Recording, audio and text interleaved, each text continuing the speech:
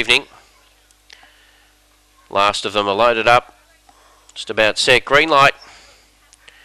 Favourite drawn in box two. We're set to go. They're ready.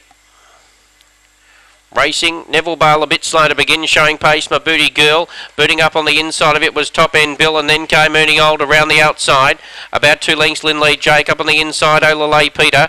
Well back Neville Bale, Kaufman Bale. Last of all was Mac Burner off the back, and it's Top End Bill. Just in front on the outside was Ernie Old, and then came my Booty Girl around the corner. Top End Bill just in front. It's about a neck clear. Uh, top End Bill trying to cling on. Top End Bill wins it from Lindley Jake, who flew. My Booty Girl third. Pretty keen race. Fourth maybe Olalay Peter from Neville Bale and Kaufman Bale, McBurner. And uh, it was one of the tail enders there, and it's uh, 25.78.